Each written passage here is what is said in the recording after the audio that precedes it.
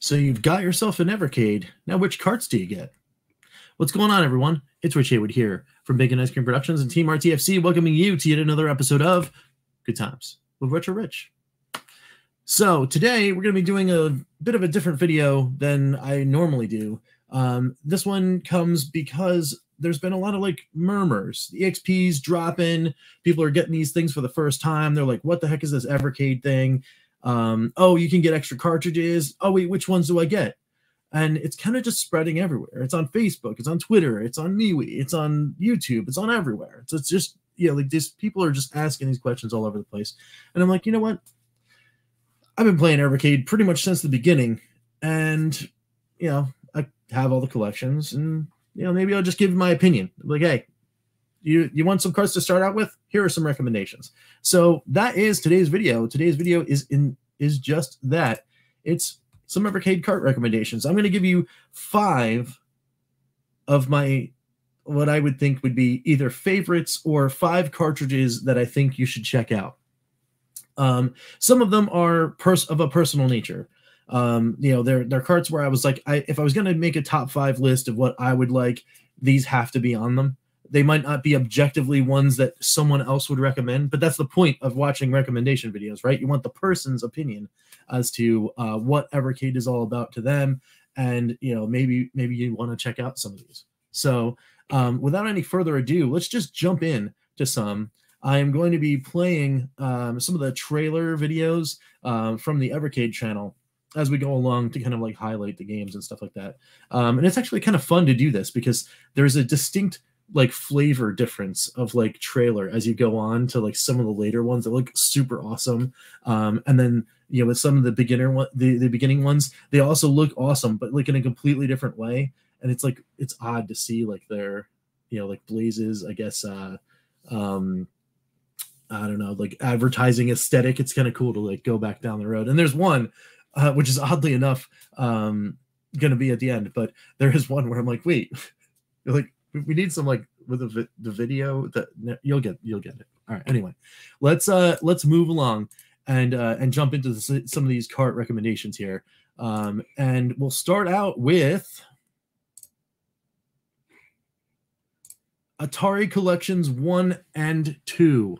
So atari collections one and two um are on this list in the number five slot for me because they are my childhood. Okay you've got asteroids You've got new stuff like Aquaventure. You've got Centipede. Um, you've got Yar's Revenge on the set on the second collection. Um, you know, you've got some like 7800 games like Food Fight right here. Um, you've got like cool games that are kind of into the resurgence like Gravitar and Mystical Man because they just got recharge games. Um, you've got quirky fun games like Ninja Golf here. Um, all sorts of of really cool stuff um, you know, even even the Sword Quest games, you know, like deserve kind of a look. And of course, you got the great video pinball right there. Um, it's awesome, awesome stuff. Uh, I highly recommend uh, the Atari collections, and you know, it is kind of again, it's it's one of those things that is like what Evercade is about because it's about kind of that lens to the past and discovering things that you might not have played when you were younger because you might not have been you know old enough to to have these you know when you were growing up. Um but it is cool to look at. And and there's some cool like history stuff too you know some things that like didn't make it and then came out later um and that kind of thing. So very very cool stuff. Um atari collections one and two in the number five slot for me. Um you know they're they're definitely a good time. And you know take me right back to the atari room um when i was growing up uh, and I think they're definitely definitely worth uh, worth a look and worth your time uh, there. So then we move on um, all the way to some arcade action. All right. So we're going from Atari collections to some arcade actions. And where are we going? We are going to Data East Arcade 1. Now, Data East Arcade 1 is, in my opinion, the strongest of the arcade collections um, with games like Lock and Chase and Burger Time, um, which are classics, to uh, Wizard Fire and, um, you know, Bad Dudes versus Dragon Ninja here. Um, cool, quirky titles like Chain Reaction and Breakthrough. You got Dark Seal, which is an awesome game. This this game this game cartridge kind of has it all as far as the arcade stuff goes, um, and is totally totally worth your time uh, to be checking out. So 100%, if you're gonna get one extra arcade cartridge um, out of the ones I think you have to buy separately, then Data East Arcade One, I think has to be on that list. Um, so if you're looking for a good arcade cart, look no further um, because it is indeed really awesome. Now we go back to some of the, um, I guess we're calling them console collections, to one that I think just hit, fits the bill for again what Evercade is about, and for um, and for what um, you know what you could do as far as like discovery. And this is this one right here. We're looking at of course renovation collection one and in the number three slot you can't you can't really go wrong here again you've gotten a whole bunch of really awesome kind of quirky kind of like um, obscure games that might have missed the you know might have missed the boat on and you know if you're trying to collect now you know, getting these carts, um, like we were just talking about in the Fun for Five, um, that's on the Evercade playlist here on the channel. Um, it, these these uh, these games are wicked expensive to try to get, but there's good, there's a lot of fun to be had. It's a it's a really good variety of things. Um, you know, to play. You've got you've got weird um, you know wrestling games that people may or may not like you've got pinball games that people may or may not like you got some rpgs again in that same category you got awesome shooters um, and really cool action adventure games um, you know like it's it's just a really really cool thing um, you know this the you've got like action platformers like el viento here um, you know it's definitely worth your time i'm going to jump around a little bit uh, to try to show you some more stuff there are some of the RPGs that you can play. You got Gyruss, which is a super crazy uh, shoot 'em up. Um, very very cool, very worth your time to check out. Um, and uh, you know, it, and it's just it's just really a lot of fun. It's really a strong cartridge and something I could wholeheartedly recommend. Now there is another side of Evercade um, as we move on. And the other side of Evercade is actually shining light on, you know, instead of just like these big publishing companies out there, shining light on the little guy. And the next one in the number two slot um, does that very well. And that is, of course, Indie Heroes Collection 1. 100% in the number two slot. Can totally recommend all of these games. They're super like charming, quirky, fun games that allow you to just kind of get that pick up and play feel. You can play for five minutes, you can play for 10 minutes, you can play for three hours on some of these games, um, and then even get to the end on some of them, right? In the three hours. Um, but they're all, uh, you know, as as stated in the collection name, independently developed games some of which have uh, you know reached some form of acclaim and have been recognized in various forms. Um, some of which you might not have not have heard of. But again, this is the beauty of Evercade. It kind of shines the light on all these kind of cool games that you that you might not have even just known that existed and then here you are you're playing you're having a good time um, and that's in, in my opinion that's what this cart is all about is just kind of relaxing and having a good time and you know playing stuff that you probably would have never considered. Um, but it is 100% worth your time and a lot of a lot of really great games for a lot of cool value um, on this cart so i could wholeheartedly recommend indie heroes 2 and of course you're getting um, if you have a vs you're getting that that that cool thing and the exp next year.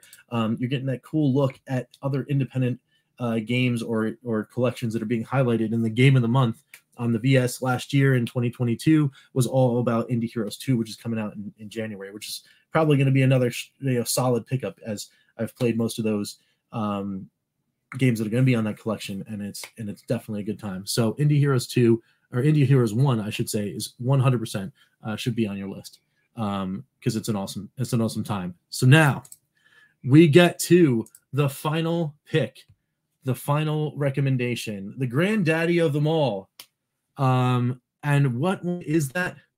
it's like the weirdest thing. Like they made a trailer for all these other cartridges, and in my opinion, one of the very strongest carts there is.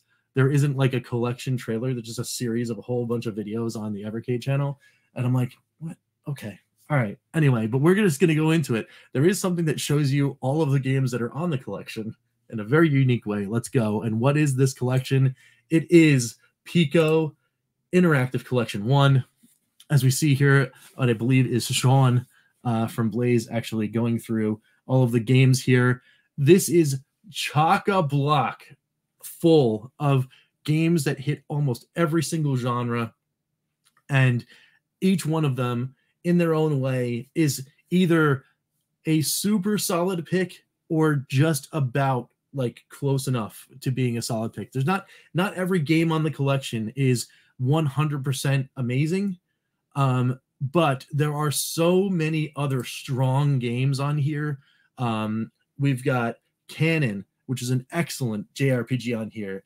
Um, we've got um, uh, we've got uh, what you call it? Um, oh man, uh, there's so many there's so many good games now. I'm like like looking at the thing and getting like confused. Um, we've got Brave Battle Saga, of course, another awesome game. We've got Water Margin, which in in which I, I believe is, in my opinion, my favorite one of the beat 'em ups um, that is on any almost any collection outside of maybe um, you know Capcom because of course Capcom is going to be in there and there's some solid ones there. Um, but Water Margin is such a fantastic game that it's almost worth it on its own for those two the SRPG, the JRPG, and Water Margin alone. But then you still have you know all these other games that you could be playing um, that are really cool you know, like quirky games like Radical Rex, um, cool racing games like Top Racer. Um, you know, you've got uh, Tin Head, which is a pretty cool platforming game. Um, you've got Eight Eyes, which is kind of like a Castlevania like kind of thing. You've got all sorts of really cool stuff on here. Um, it's just really a solid collection. And, you know, to this day, I think remains the strongest as far as overall value um, because of the amount of games you get on the cartridge. So I'm going to pull my Piko Interactive here. There are 20 games on this cartridge. 20. Now, I know that Atari 1 and 2, also for value, also do tout that many games. But in Piko Interactive Collection 1, the, most of the 20 games that are on here, they're six, seven more hours um, that you can that you can play. And you know, obviously, the Atari collection games, yes, you can play them for for an extended period of time, but there's score chase games. You're playing them over and over again to get a higher score, right? You know, there are there's meat on the bones on here on this collection, and I think that's what makes this so strong. Um, and it, it, makes it so awesome uh, to have as far as a collection goes. And if you're just getting in uh, to Evercade and you want some more bang for your buck, I don't think there is a, a collection on this shelf right here that uh, boasts any more value than Piko Collection One here. So Piko Collection One is my top pick for the top five collections that I think you might want to check out if you are indeed a new Evercade owner. But that's just this guy's opinion. There's a whole bunch of opinions out there that I highly encourage you go check out. Um, and all sorts of people have been making all sorts of different recommendations all over social media and all over those, uh, you know, all over YouTube and everything like that. So please watch all of those people and then come on back here and have some fun with me too. Uh, what do you guys think about the list? Well, you know, what are your picks? What are your top five uh, recommendations? If someone came up to you and go, I just got one of these Evercade things, what do I do? Let me, let me know down below. Um, you know, I'd like to see how close on my list it might be to yours. Um, and does this change? Notice that in the description of this video that says for 2022. For 2023, is the list going to be different? I don't know. Maybe. You know, there's going to be a whole bunch more collections that come out. So who knows? Maybe something drops. It's just so big and so awesome. It drops, you know, the Ataris out of there. Um, maybe unlikely. Data East, maybe, which unlikely because it's so strong. Uh, but you never know. You just never know. So that's the fun about doing these things. I've had fun. Did you have fun? Again, let me know down below. And of course, until next time, folks, we'll catch you next time for some good times. I'm Rich, and we will see you later. Take it easy, guys, and have fun.